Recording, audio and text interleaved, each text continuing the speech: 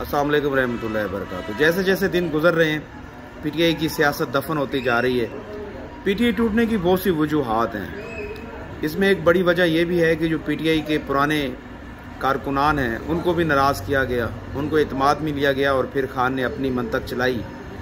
ये फौजिया कसूरी, बानी रुकन पीटीआई, इन्होंने 22 साल पीटीआई को दिए। ये भी फेडअप होकर पीटीआई छोड़ गई। और आप इन्हीं की ज़बानी सुनेंगे कि यह क्या क्या कहना चाहती हैं? इन्होंने पीटीआई क्यों छोड़ी? क्या वजह थी?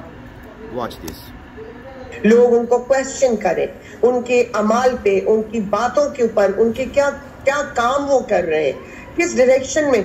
हमेशा से खान साहब हमने जज करने में गलती की। मैंने तो अपनी ज़िंदगी के बेहतरीन 22 साल बिलीव करते हुए गुजारे कि भाई, ये सब मामला सही होंगे और पार्टी सही चलेगी और इनशाला पाकिस्तान में एक इंसाफ का निज़ाम आएगा। इमरान खान ने तो इतनी तबाही मचाई एक शॉर्ट पीरियड ऑफ़ टाइम में। चार साल के अंदर के इन्होंने पाकिस्तान की इकोनॉमी पाकिस्तान की सोसाइटी पाकिस्तान की पॉलिटी। इन तमाम चीज़ों का उन्होंने हिसाब किताब खत्म कर दिया।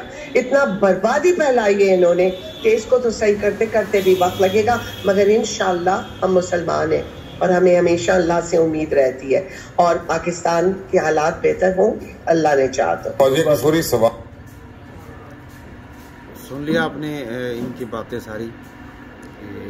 ये भी पीटीआई से फेडअप हैं और पीटीआई छोड़ चुकी है।